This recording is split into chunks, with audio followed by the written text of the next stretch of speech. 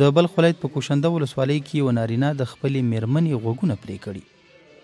د درویشت کلنې زرینې غوږونه د خپل خاوند لخوا تېره شپه د چاقو په وسیله پرې کړل شوي دي. سه بجه شب بود دیگه خیز از جاش دیگم بود و رفت یک دانه چربول آورد دیگه دستای ما کم بسته کرد پایم هم همراه چادرم بسته کرد با او را هم تا کمرای دوستای ما کم بسته کرد باز هرچی حضور کردم ما هیچ دیگه هیچ رحم دل درش نشد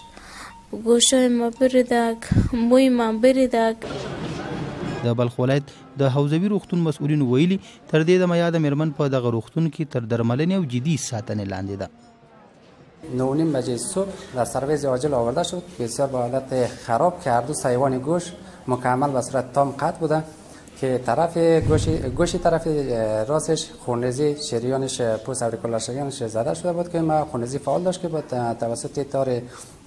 ویتریل سیسف ما اون را لایگت کردیم بعد از پانسمان تعقیم مریض فعلا به وضعیت خوب در سرویس آورده شده تحت کنترل است د دغه پیښې لامل کورنۍ تاوتریخوالی په ګوته شوی او د پیښې عامل له سیمې تښتېدلی دی خو د بلخ پولیسو تر دې دمه د دغه قضیې په تړاو څه نه دي ویلي